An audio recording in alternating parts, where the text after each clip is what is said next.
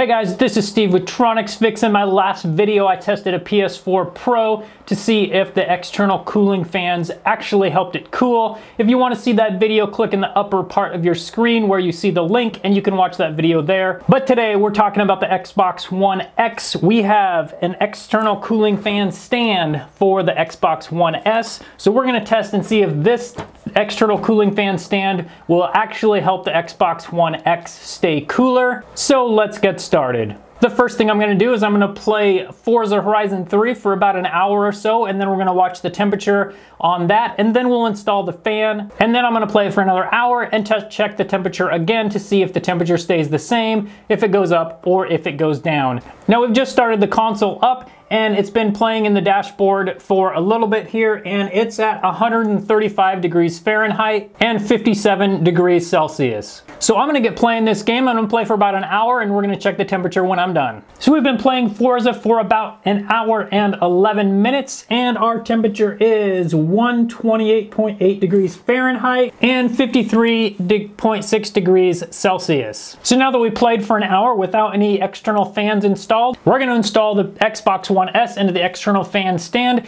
Then we're gonna play some more and test the temperatures.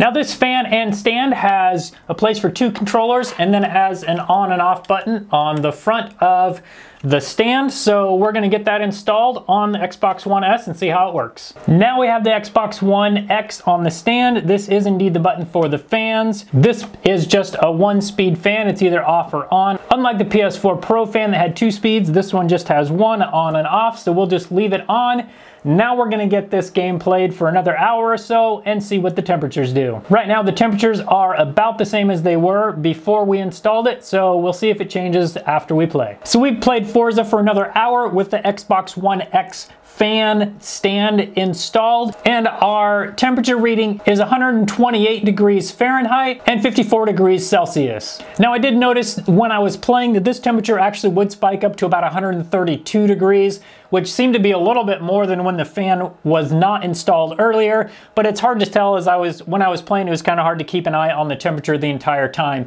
But what is clear is this specific fan stand and probably any fan stands out there do absolutely nothing for cooling your Xbox One X as I suspected based on my previous video about the PS4 Pro. So if your Xbox One X is in good, fairly clean condition and you're looking for extra ways to cooling it, I do not recommend anything like this torp type of stand. What I always do recommend, however, are things like making sure that it's in a well-ventilated area, make sure that you keep the side vents clean because that's where the intake air comes in, and just make sure that your Xbox One X is taken care of. Now, if your console is really dirty on the inside, or something like that, it is possible that a fan stand or an external fan just blowing on it, that might help it stay a little bit cooler until you can get it cleaned. But if your console is in decent condition, I do not recommend any sort of external fans. The internal fan on these consoles and pretty much any current generation consoles will